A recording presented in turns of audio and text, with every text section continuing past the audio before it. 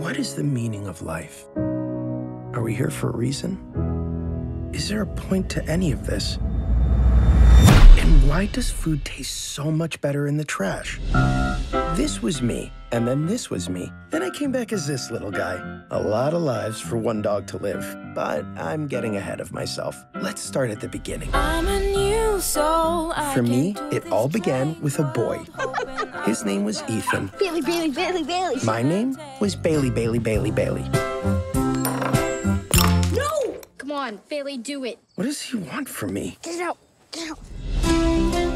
Whenever life got Ethan down, I knew exactly what to do. Ready? I'm ready. Go, Bailey! We played with that ball all afternoon. Ethan loved it. Sometimes he just needed a little nudge. Oh, Whoa! Sorry. That was the dog. That wasn't me. Okay, well, maybe you should teach your dog some manners. We spent every day together. Were they fighting over food? No, nothing in there.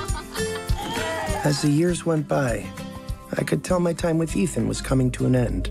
Good boy, Bailey. I'm gonna miss you. And then it happened.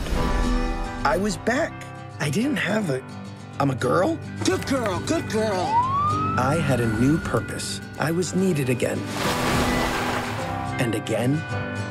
And again. Hi, you! With each new life, I was learning a new lesson. hmm, have we met before? Where did you find that? Okay, ready? Go!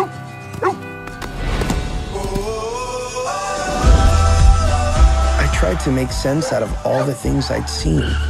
Was there a point to this journey of mine? And how did bacon fit in?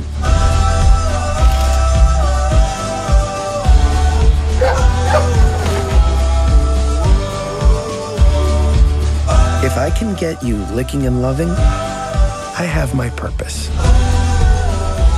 Ethan, why do you always have this dog with you? It's like a girlfriend replacement or something? The dog's laughing at you. Dogs don't laugh. That's funny.